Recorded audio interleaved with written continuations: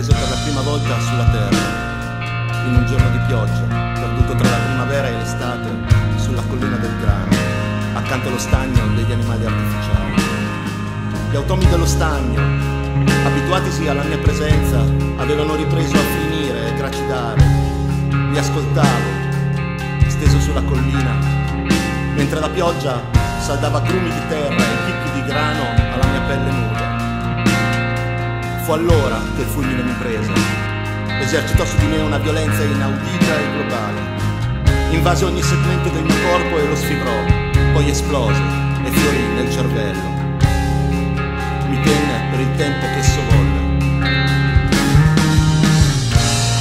Da allora il fulmine mi ha preso molte volte. Ogni volta ha rimescolato brutale i miei pensieri, spietato il furore del fulmine. Nei giorni dai cieli più bassi quando l'aria sapeva di ferro, mi sono arrampicato sulle colline, l'ho provocato con rituali di guerra, con danze e grida, evocazioni del fulmine, invocazioni al fulmine. Il mio corpo è divenuto il ricettacolo del furore, si è trasformato in un'arma del fulmine, plasmata dal fulmine. Il fulmine mi ha impartito la sua disciplina, con violenze talvolta saltanti, talvolta lentamente dolorose, tra le quali esso mi ha tante volte concesso la grazia. La grazia del fulmine sono i fiori azzurri, complessi, a diverse orbite rotanti, che spesso si aprono nel buio, negli ultimi istanti in cui il fulmine esercita la sua brutalità. Quando i fiori compaiono, si spalancano i viali che si inerpicano nel cielo, i viali che partono dalla mia fronte e si inerpicano verso il cielo, e nel cielo raggiungono la mia mente, che la mente è nel cielo, anche questo il fulmine insegna. Oggi sono steso sulla sabbia in colore di kerania, guardo in alto, ho le braccia e le gambe divaricate. Barbelo, il cielo di Kerania è alta e gonfia di nubi, un drappo color grafite trapuntato indaco, attraverso il quale posso vedere i bagliori delle scariche che si sfogano nel pleroma. Nel sonno che mi ha colto, durante il viaggio, nella navicella, ho avuto un'immaginazione di Barbelo, si schiudeva come due labbra si schiudono, lenta, lasciava intravedere un nucleo, amalgama di viola e verde, che si inseguivano e si avvolgevano attorno a un cuore segreto. Mentre ero ipnotizzato dai movimenti dei colori, il fulmine scaturiva dal peroma e mi penetrava, mi contorceva, bruciava le mie carni, fondeva e separava i miei lembi, pungeva il mio corpo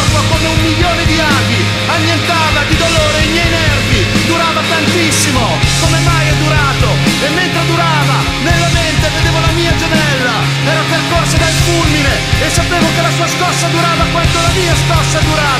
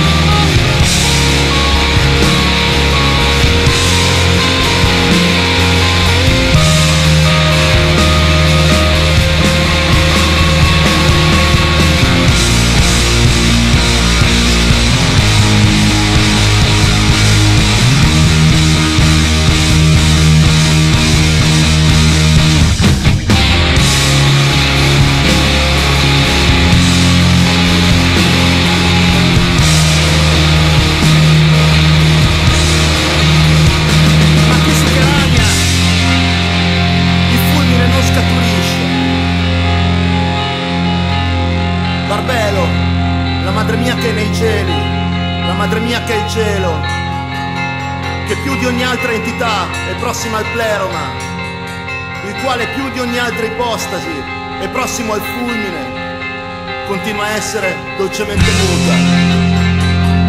Mi sfiora con una brezza il cui profumo fa scorgare in me il ricordo delle primavere piovose. Mi contempla da lontano con tenerezza Talvolta lascia scivolare qua giù un gorgoglio lieve, rade gocce minuscole.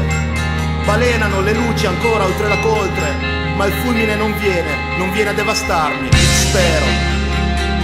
E infine apprendo di nuovo, come ogni volta, che nulla devo desiderare oltre al fulmine e che nel contempo devo rinunciare al fulmine. Apprendo di nuovo, come ogni volta, le nozze di desiderio e rinuncia Apprendo di nuovo, come ogni volta, che non si può governare il fulmine e che il fulmine governa ogni cosa. E mentre cresce la vergogna, la vergogna per l'ignoranza che sempre e di nuovo ho mostrato in merito alla natura delle cose del fulmine, sopprimere